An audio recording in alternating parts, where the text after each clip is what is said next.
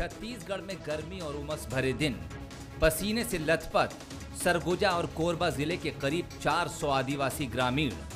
पिछले 10 दिनों में 300 किलोमीटर से ज़्यादा की यात्रा पूरी कर रायपुर आ पहुँचे। ये आदिवासी ग्रामीण एक दशक से अधिक समय से वन क्षेत्रों में कोयला खनन का विरोध कर रहे हैं।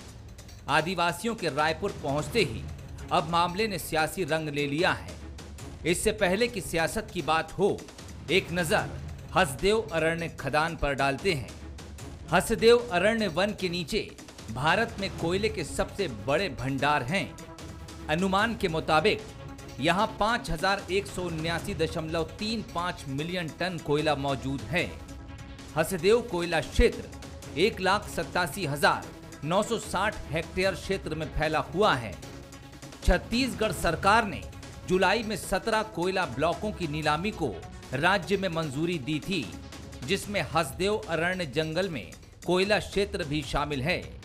सरकार के इस फैसले के खिलाफ विरोध तभी से शुरू हो गया। और विरोध अब जत्थे के रूप में रायपुर तक आ पहुँचा है। ये तमाम लोग राज्यपाल से मिलने राजभवन भी जा पहुँचे। मुझे लगता है कि शासन स्तर पर इसका ध्यान जितना गंभीरता से जितना जाना चाहिए था, शायद नहीं पहुँच पाई होगी। तो इसकी वजह से भी ये समस्या का समाधान उतना नहीं हो पाया होगा, ये सरकार कर भी रही होगी। मैं जानकारी लूँगी देखिए तीन प्रमुख मांगों को लेकर हम लोग यहाँ आए थे। हसदेव ने जो एक समृद्ध वन इलाका है, वहाँ पे जो प्रस्तावित पाँच कोल ब्लॉक हैं, उनको निरस्त करने की मांग। दूसरा, जो बिना ग्राम सभा सहमति के वहाँ भूमि अधिग्रहण की प्रक्रिया कोल बैलिंग एक्ट से हुई है उसको निरस्त करने की मांग। और तीसरा परसा कोल ब्लॉक के लिए फर्जी ग्राम सभा के आधार पर वन स्वीकृति हुई है, उसको निरस्त करने की मांग। राज्यपाल ने बहुत ही गंभीरता के साथ सारे मुद्दों को सुना। विरोध के सुर राजधानी में गूंजे। तो न सिर्फ़ राजनीतिक हलचल बढ़ी, बल्कि आरोप प्रत्यारोप भी शुरू हो गए। स्वास्थ्य मंत्री टीएस सिंहदेव आंदोलनकारियों से मिलने पहुँच गए। तो बीजेपी ने इस बहाने राज्य सरकार पर कई आरोप जड़ दिए। आप लोग 300 किलोमीटर से ज़्यादा रास्ते को यहाँ तय करके रायपुर पहुँचे हैं। आपकी सुनवाई हो, आपकी जायज़ मांगे जिन कानों तक पहुँचेंगी वो सुन समझ के उस पर कारगर कदम उठाएँगे ताकि आपके नैसर्गिक हित, प्राकृतिक हित, जायज़ हित संरक्षित हों। आदिवासी पैदल चल के यहाँ पे आए हैं। हसदेव अरण्य में आदिवासी क्षेत्र की स्थिति पूरी तरीके से यथावत है। कहीं भी किसी भी प्रकार की दिक्कत वाली बात नहीं है। मुख्यमंत्री भूपेश बघेल जी ने स्पष्ट किया है कि यदि उनसे चर्चा करने आएँगे तो स्वागत है। एक तरफ़ अरण्य के आदिवासियों से टीएस सिंहदेव मिलकर आ जाते हैं। मुख्यमंत्री बोलते हैं, मेरी कोई जानकारी नहीं है। अरे, मुख्यमंत्री हैं। मुख्यमंत्री जी के पास में इंटेलिजेंस है। अगर वनवासी साढ़े चार चार सौ किलोमीटर से चल कर आते हैं, साढ़े तीन सौ किलोमीटर से चल के आते हैं तो उनसे मिलने के लिए मना करना, उनसे नहीं मिलना, ये छत्तीसगढ़ के वनवासियों का, आदिवासियों का अपमान है। इसको छत्तीसगढ़ की जनता बर्दाश्त नहीं करेगी। छत्तीसगढ़ में आदिवासियों को लेकर सरकार और विपक्ष के बीच तकरार। कोई नई बात नहीं है। इससे फ़र्क नहीं पड़ता कि सरकार में कौन और विपक्ष में कौन है। लेकिन ये तय है कि आदिवासियों के लिए वादे और दावे करने वाले अपनी भूमिका सरकार और विपक्ष में आते ही बदल लेते हैं। अभिषेक शुक्ल, बंसल न्यूज़, रायपुर। नमस्कार, स्वागत है आपका। मैं हूँ अभिषेक शुक्ल, सियासत पर कोयले की आँच। जी हाँ, लगातार कभी आदिवासी, कभी कोयला, इन दिनों सियासत के केंद्र बने हुए हैं। आदिवासियों की बात होती है तो दोनों ही तरफ़ भौएँ तन जाती हैं, चाहे कांग्रेस हो या बीजेपी, सभी अपने आप को एक बड़ा हितैषी बताते हैं। और इसके लिए एक आरोप प्रत्यारोप का दौर भी चलता रहता है बाकायदा समय समय पर। संघर्ष भी हो रहा है, और कोशिशें भी हो रही हैं कि आदिवासी को ज़्यादा से ज़्यादा लुभाया जा सके। इन तमाम चीज़ों के बीच हसदेव अरण्य बचाव समिति एक पैदल मार्च निकालती है। कई आदिवासी पहुँचते हैं। राजधानी जब वो पहुँचते हैं। तीन चार सौ की संख्या में साढ़े तीन सौ किलोमीटर पैदल चलकर तो एक बार फिर से सियासत गर्म हो जाती है। सियासत को बल तब और मिलता है जब स्वास्थ्य मंत्री मुलाकात कर लेते हैं और उसके बाद राज्यपाल मुलाकात करती हैं। अब से थोड़ी देर पहले मुख्यमंत्री ने भी मुलाकात की है। तो भाजपा को एक आरोप लगाने का मौका मिलता है। भाजपा इसी बहाने आदिवासियों का हितैषी बनते हुए एक बार फिर से आरोप प्रत्यारोप करती है तो कांग्रेस भी जवाबी कार्रवाई करती है। तो क्या आदिवासी को साधने के लिए तमाम चीज़ें हो रही हैं? बहुत सारे सवाल आपके भी जहन में हमारे भी जहन में चर्चा इसी पर हम भी करेंगे। खास मेहमान हमारे साथ हैं अनुराग सिंह देव जी हैं भाजपा से बहुत स्वागत है आपका। धनंजय ठाकुर जी हैं कांग्रेस से बहुत स्वागत धनंजय जी। वरिष्ठ पत्रकार अवधेश मलिक हमारे साथ हैं। अवधेश जी बहुत स्वागत आपका। अनुराग जी ये जो यात्रा निकली है, क्योंकि आपके ही इलाके से निकलकर पहुँची यहाँ तक पैदल मार्च करते हुए, सियासत इस पर अब होने लगी है। क्या ये दरअसल सभी मिल रहे हैं या बातें कर रहे हैं? हित में आदिवासी है, आदिवासियों को ध्यान में रखकर तमाम कोशिशें, ये कवायदे हो रही है। अभिषेक जी ये जो क्षेत्र है अरण्य क्षेत्र जो वनांचल क्षेत्र है डेंस फॉरेस्ट एरिया है और घने जंगल जो क्षेत्र है वो निश्चित रूप से वहाँ पर हम्म। आदिवासी समाज की बड़ी संख्या में बसाहट है। ये सरगुजा का जो हमारा अंचल है यहाँ से लेके कोरबा तक पूरा फैला हुआ व्यापक ये क्षेत्र है। अब इसमें पूर्व में कोल माइंस थी और कोल माइंस का उत्खनन लगभग पूर्णता की ओर है, जो था। लेकिन अब अब इसका जो विवाद नया शुरू हुआ है, ये इसके एक्सटेंशन को लेकर हुआ है। जब छत्तीसगढ़ सरकार ने नए माइंस को ऑक्शन के लिए मंजूरी दी है, उसके एक्सटेंशन को लेकर ही नया विवाद शुरू हुआ, एक नया घटनाक्रम। अब अब विषय इसमें दो तीन बातें आती है। एक तो ये जो एक विस्तार हो रहा है, क्या इस विस्तार को इस सघन क्षेत्र में और अधिक मंजूरी दी जानी चाहिए? तो क्योंकि पहले ही नुकसान हुआ है व्यापक रूप से जंगलों का तो क्या अब इसको और अधिक उसका एक्सटेंशन किया जाना चाहिए?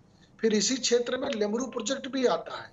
तो लेमरू प्रोजेक्ट में जो क्षेत्र आने थे, उसमें जो डेंस फॉरेस्ट एरिया था, उसको, उससे छोड़ दिया गया है, ऐसी सूचना आती है।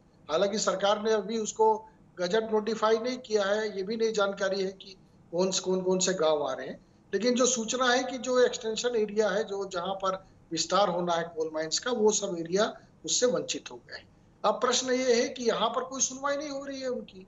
यहाँ पर जो ग्राम सभाएँ है उसमें मनमानी की जा रही है। यहाँ पर प्रशासन अपने तरह तरीके से अधिग्रहण का काम कर रहा है। ग्राम सभाओं को महत्व नहीं मिल रहा है। इसलिए मजबूर होकर ग्रामवासी आदिवासी यहाँ से पैदल निकल कर जब यहाँ सुनवाई नहीं हुई उनकी यहाँ पर कोई उनका आ, उनकी बात को ध्यान में नहीं रखा तो पैदल 300 किलोमीटर रायपुर पहुँचे हैं। और रायपुर में जाकर अपनी बात रखने की कोशिश कर रहे हैं। अब प्रश्न ये उठता है कि गवर्नर ने मिल गया मिल लिया चर्चा कर ली पूरे प्रतिनिधिमंडल से स्वास्थ्य मंत्री भी संभवतः मिल लिए। अब मुख्यमंत्री जी आज मिले हैं ये अभी आपने सूचना दी मुझे लेकिन मुख्यमंत्री जी क्यों नहीं मिल रहे थे उनसे? और इस तरीके के अलग अलग प्रतिनिधिमंडल कभी बस्तर से आता है कभी और भी आते हैं तो उनसे मुलाकात नहीं हो पाती है। तो आखिर में इनकी सुनवाई करेगा कौन? कौन यहाँ पर जब जवाबदार जिम्मेदार है? तो ये एक बड़ा प्रश्न आज उत्पन्न हो चुका है और निश्चित रूप से इससे आदिवासी समाज का विश्वास डिगा है सरकार के प्रति छत्तीसगढ़ में। और जो वनांचल क्षेत्र है इसमें पर्यावरण से लेकर जो बाकी हम्म। जो वन जीव है पक्षी हैं इन सबको व्यापक नुकसान यहाँ पर होने जा रहा है। जी। ठीक, मैं धनंजय जी से भी सवाल कर लेता हूँ। धनंजय जी बार बार सवाल विपक्ष को उठाने का मौका मिल रहा है। कभी आदिवासी, कभी वनांचल के, जैसे हसदेव अरण्य क्षेत्र के लोग आज पहुँचे। क्यों इनको पदयात्रा करते हुए यहाँ पहुँचने की नौबत आ रही है? क्या ये एक बार फिर से आदिवासी हितों को लेकर जो संघर्ष था, वो शुरू हो रहा है? देखिए अभिषेक जी, जो हसदेव अरण्य क्षेत्र है इसके बारे में अगर हम चर्चा कर रहे हैं तो हमें थोड़ा सा पीछे जाना होगा। जब 2010 में यूपीए की सरकार थी तो उसमें के तत्कालीन जो पर्यावरण मंत्री थे जयराम रमेश जी, उन्होंने उस क्षेत्र को नो गो एरिया घोषित किया था, क्योंकि वहाँ पे वन जंतुओं का क्षेत्र था, दस किलोमीटर के दायरे में जो माइनिंग गतिविधियाँ थे, उसको पूरी तरीके से प्रतिबंधित करने का काम किया था। दुर्भाग्य की बात है, आज जो भाजपा के प्रवक्ता सीदेव जी टीवी में बैठ के पर्यावरण की चिंता कर रहे हैं, जंगल की चिंता कर रहे हैं जीव जंतु की चिंता कर रहे हैं। दुर्भाग्य की बात है, अगर रमन सिंह की सरकार इसकी चिंता करती तो मुझे ऐसा लगता है कि उस दौरान इस क्षेत्र में अडानी को खनन के लिए अनापत्ति प्रमाण पत्र नहीं देते। क्योंकि आज इनकी सारे तो सामने आ चुका है, और निश्चित तौर पर हमने लगातार एक बात को कहा है कि छत्तीसगढ़ के जल जंगल ज़मीन है, उसमें छत्तीसगढ़ के आदिवासियों का, यहाँ के जनजातियों का अधिकार है, इनके ग्राम सभा के जो अधिकार उनको दिया जाना चाहिए। लेकिन जिस प्रकार से केंद्र में बैठी नरेंद्र मोदी जी की सरकार है, और पंद्रह साल तक छत्तीसगढ़ में सरकार रही है, वो अडानी अंबानी के दबाव में इतने ज़्यादा रही है कि वो संविधान सम्मत अधिकारों को भी ध्यान नहीं देने का काम किया है। मैं कह रहा हूँ ना, हम तो लगातार विरोध कर रहे उस बात का। और अभी जो लेमरू प्रोजेक्ट ज़िक्र सीदेव जी ने किया, वो लेमरू प्रोजेक्ट भी कांग्रेस शासन काल में डेवलपमेंट में है। उस क्षेत्र में भी नरेंद्र मोदी जी की सरकार केंद्रीय शक्तियों का दुरुपयोग कर कर भूमि को ज़ोर ज़बरदस्ती अधिग्रहण करने का काम कर रहा है। स्वाभाविक सी बात है जब किसी के अधिकारों का हनन होगा तो पीड़ा होती है और बात आती है। और छत्तीसगढ़ मुख्यमंत्री माननीय भूपेश बघेल की सरकार तो आम जनता की सरकार है आदिवासियों सरकार है जनजातियों सरकार है किसानों सरकार है। हम उनके बीच जाते हैं उनसे बात सुनते हैं उनकी बातों को ऊपर तक पहुंचाते हैं। है। तो मुझे लगता है कि भारतीय जनता पार्टी जो राजनीति कर रही है टिप्पणी अवधेश जी की भी ले लेता हूँ इस पर। जी। ठीक। अवधेश जी ये पूरा जो हसदेव वाली बात कर ली जाए हसदेव अरण्य की बात कर ली जाए या बस्तर से जो आदिवासी आ रहे हैं ये क्या क्यों नौबत इस प्रकार की आ रही है कि इनको चलकर यहाँ तक आना पड़ रहा है अपनी मांगों के लिए? हालाँकि सियासत इस पर भी हो रही है सभी एक दूसरे पर आरोप लगा रहे हैं लेकिन मूल समस्या क्या है? कहाँ समस्या कहाँ दिक्कतें आ रही हैं? देखिए मैं आपको बता दूँ कि अभी कुछ देर पहले मैं एक जो आ, बड़े माइंस से रिलेटेड अधिकारी हैं उनसे मैं भी मिला था। हम्म। और फिर एक जो है कॉरपोरेट हाउस से भी मिला था जो कोल सेक्टर में काम कर रहा है। तो उनका जो मतलब साफ़ साफ़ कहना था कि छत्तीसगढ़ में कोल रिज़र्व काफ़ी ज़्यादा है।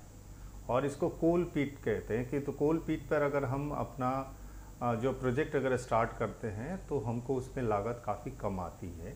क्योंकि जो लॉजिस्टिकल सपोर्ट का कॉस्ट है वो कई बार जो प्रोडक्शन पर भारी पड़ता है। अगर वो ज़्यादा उसमें खर्चे आ रहे हैं एडमिनिस्ट्रेटिव कॉस्ट खर्चे आ रहे हैं तो उसमें ज़्यादा। तो ये तो एक तकनीकी बात हुई तो ये ये दिखाता है कि कोल रिज़र्व है तो उससे आपको फ़ायदा होगा। अब दूसरा सवाल ये उठता है इसमें कि फ़ायदा किसको होगा? क्या वो फ़ायदा सिर्फ़ कॉरपोरेट तक के सीमित है या फ़ायदा सिर्फ़ सरकार तक सीमित है या फ़ायदा सिर्फ़ नेताओं तक सीमित है? या फ़ायदा जो होगा उसमें वो व्यक्ति भी शामिल हो जाएगा जिसके ज़मीन के नीचे वो कोयला वो खनिज संपदा दबा हुआ है। इसी की लड़ाई हो रही है लंबे समय से लड़ाई हो रही है बस्तर से लेकर सरगुजा तक। कहीं पर जो है सो लोह अयस्क है तो कहीं कोयला है तो कहीं और सारे खनिज पदार्थ हैं। हाँ। अब सबसे बड़ा सवाल इसमें ये उठता है कि छत्तीसगढ़ में बहुत सारी कंपनियाँ लगी आ, मतलब इस्टेब्लिश हो चुकी हैं। है ना? वो आ, आपको लोह लोहा का जो खनिज है उसको भी एक्सट्रैक्ट करने के लिए इंडस्ट्रीज़ इस्टेब्लिश्ड है यहाँ पर। हाँ। कोयला का भी कोयला को एक्सट्रैक्शन के लिए इंडस्ट्री इस्टेब्लिश्ड है।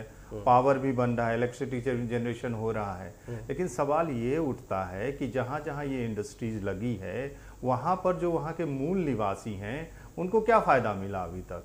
उसका कोई आंकड़ा अभी तक सरकार प्रस्तुत नहीं कर पाई है कोई भी सरकार नहीं प्रस्तुत कर पाई। मैं मैं ये कांग्रेस या बीजेपी से उठते हुए ये बात कर रहा हूँ। क्योंकि देखिए एक चीज़ तो है कि उसके नीचे रिज़र्व है। और पहला चीज़ है तो मतलब संविधान के हिसाब से कहें या पेशा में चले जाए या जो आदिवासियों ग्राम सभाओं का तो कहना है कि हमने पास ही नहीं किया ये फर्जी तरीके से। आज जो समिति के लोग पहुँचे हैं उनका कहना है कि ग्राम सभाओं ने पास नहीं किया था फर्जी ऐसा स्वीकृति पत्र दे दिया गया वहाँ पर। देखिए इसमें दो राय है। एक जो पीड़ित पक्ष है वो ये कह रहा है कि ये फर्जी तरीके से ग्राम सभा हुआ था। हम्म। दूसरी ओर से जो अधिकारी पक्ष है मतलब जो गवर्नमेंट के अंदर जो अधिकारी हैं जो इसमें इन्वॉल्व हुए थे उनका ये कहना था कि हमारे पास साइंड जो है आ, मतलब प्रमाणित प्रतिलिपियाँ हैं जो ये साबित करते हैं। अब 10 साल पहले क्या हुआ? है ना? उसके लेकर अगर अभी कोई ये सवाल उठा रहा है कि वो सही है या नहीं है तो ये थोड़ा सा विवाद का मसला होता है। तो बेहतर तो यही होता कि इन सारी प्रकरणों पर सरकार तुरंत जो है सो एक समिति बना के इन सब पर जाँच करवा देती। तो मेरे ख्याल से बहुत सारी चीज़ें जो है सो सॉर्ट आउट हो जाता। जाँच हो जाती तो शायद ये दिक्कतें सवाल यहाँ तक होते नहीं। अनुराग जी यहाँ तक आने की नौबत आई है? हालाँकि उसी इलाके के आने वाले सिंहदेव जी टी एस सिंहदेव जी ने कल मुलाकात की और कहा भी कि वो उनके साथ खड़े हुए आज मुख्यमंत्री ने भी यहाँ पर मुलाकात की। लेकिन यहाँ तक आने की नौबत क्यों आई? और अब आई है तो क्या आपको लगता है कि अब हालात थोड़े थोड़े से बेहतर होंगे क्योंकि दो बड़े दिग्गजों ने यहाँ पर मुलाकात कर ली है इन लोगों से? अनुराग जी। अभिषेक जी, देखिए, पहले तो मैं एक जवाब देना चाहता हूँ धनंजय जी का कि वो बोल रहे थे कि उस समय पर्यावरण की अनुमति कैसे मिल गई। और उस समय मैं उनको ये जानकारी दे दूँ कि 2014 में भाजपा की सरकार केंद्र में बनी। उससे पहले तो केंद्र में कांग्रेस की सरकार ही थी। पर्यावरण मंत्रालय उनके पास था कुल मंत्रालय उनके पास था सारी शक्तियाँ थी। और ये जो माइंस है ये राजस्थान पावर के नाम से है। राजस्थान में तब भी कांग्रेस की सरकार थी, आज भी कांग्रेस की सरकार है। तो ये बातें यदि सरकार के आधार पर की जा रही है तो ये गलत बात है। प्रश्न सिर्फ़ ये उठता है कि अभी एक्सटेंशन को आपको मंजूरी देना है कि नहीं और विस्तार करना है कि नहीं? क्या वो जो एमओयू में शर्तें कंपनी ने सरकार से साइन की थी, क्या उसका वो पालन कर रही है? क्या स्थानीय स्तर पर लोगों को रोज़गार दिया जा रहा है? क्या रिहेबिलिटेशन की वो सारी शर्तें तमाम पूरी की जा रही हैं? क्या स्थानीय रहवासियों को वहाँ पर उनको लाभ दिया जा रहा है। क्या पर्यावरण के किसकी सुरक्षा और उसका विस्तार के लिए वो कंपनी काम कर रही है? यदि नहीं कर रही है तो राज्य सरकार को एक्सटेंशन के लिए नए प्रस्ताव देने का प्रश्न नहीं उठता था। उन्होंने दिया। अब दूसरी बात यह है कि यहाँ सुनवाई क्यों नहीं हो रही है? यहाँ पर क्या कलेक्टर या महकमा नहीं, क्या राज्य सरकार यहाँ प्रभावी नहीं है? और यहाँ पर यदि नहीं सुनी जाती है तो इस, बोलते हैं ना, इतने ये सबसे अधिक धूप अभी पड़ रही है इस समय। गर्मी से भी ज़्यादा धूप रहती है, चिलचिलाती धूप है। अब इसमें यदि आदिवासी समाज पैदल रायपुर जाता है तो इस सरकार के लिए ये बहुत बड़ा प्रश्न है और इसके लिए इनको जवाब देना चाहिए और इसको क्षमा मांगना चाहिए कि इनकी सुनवाई उस ग्राउंड ज़ीरो पर नहीं हो रही आदिवासियों की।